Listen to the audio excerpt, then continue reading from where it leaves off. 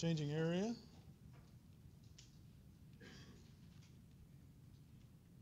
So this would be a scenario where it's kind of funny to draw it like this, but you could have changing cross-sectional areas along with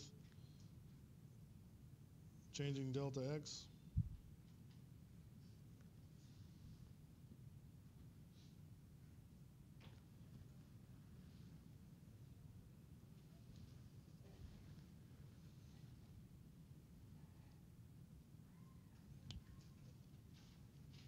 And so in this case, you'd get for a pressure drop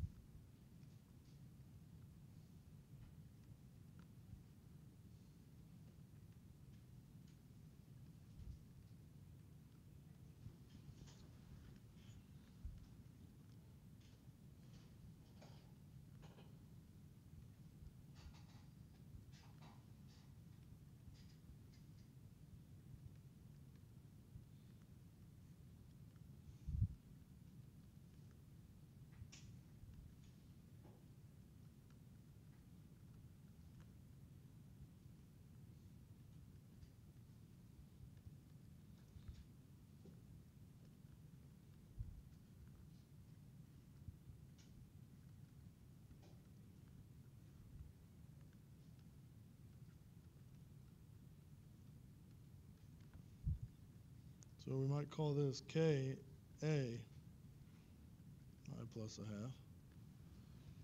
And so then our transmissibility at the half grid block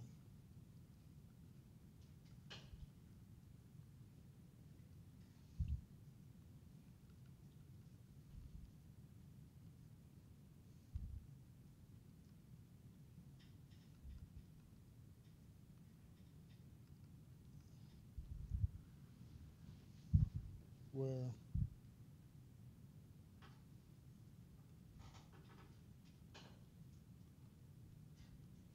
this includes all the heterogeneities for K, delta X, and A.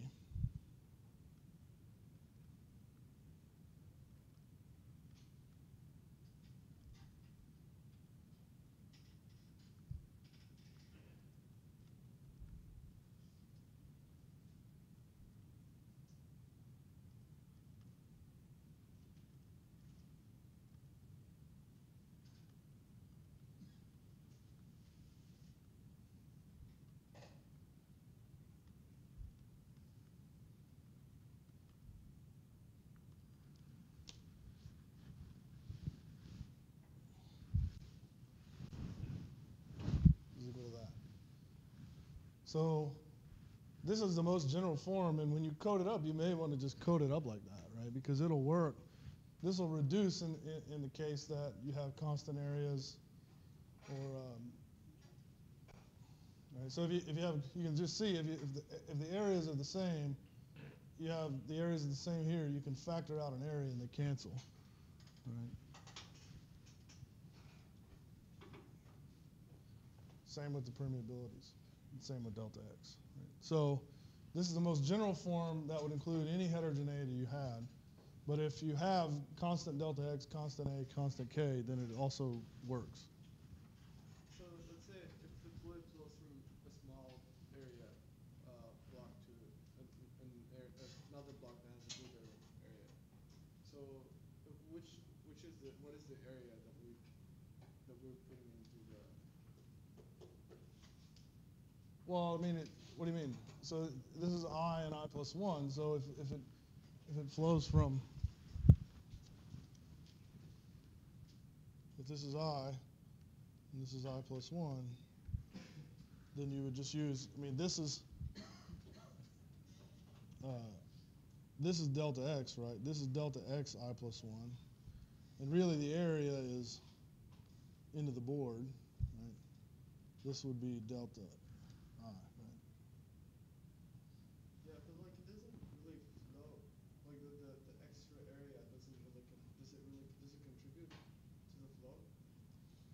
can't really like flow from outside of.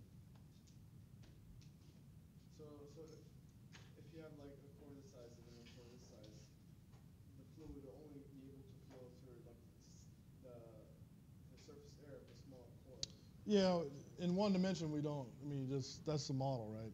You, you can't do anything about that. I know what you're saying, it's, it's gonna flow into a small, small area, right? But, but then it has the opportunity to diffuse into the rest of the core, right? So it'll, the inlet would be small, but then it, once it's, once it begins to enter, then it would diffuse. Of course, the diffu- diffusion would be two-dimensional, right? But, but nevertheless, that's the model. So, and, I mean, in a one-dimensional reservoir, for this to be accurate, I think you'd, you'd have to have pretty small changes in area. Okay. So, I mean, the way we wrote this transmissibility holds, but you, but you notice that also have this term I plus a half on essentially things that are associated with the fluid, right? So the viscosity and the formation volume factor, the density, okay? So you could also do some type of averaging on the fluid properties. I mean, you could certainly have, you know, heterogeneity in the fluid properties. You could have heavy oil in one part of the reservoir and a lighter oil in another part of the reservoir. Um, in this class, or at least for now, I mean, and I think there's a there's a slide in the in the note slides that talks about how you might do that because you know your, your fluid properties are typically going to be associated with the pressure in some way. Like your density certainly is associated. I mean, the density of the fluid is going to be dependent upon the pressure.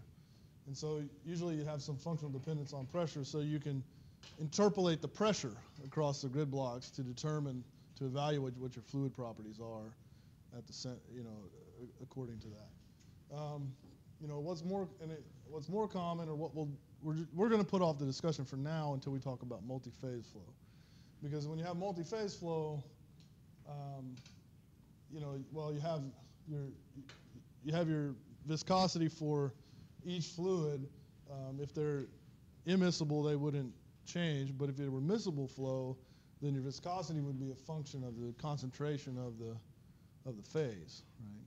So, so there, there's a lot more complicated things you can do in terms of fluid properties. For now, uh, we're, we're just going to say that the fluid properties are constant in the reservoir. For now, we'll sort of put off the discussion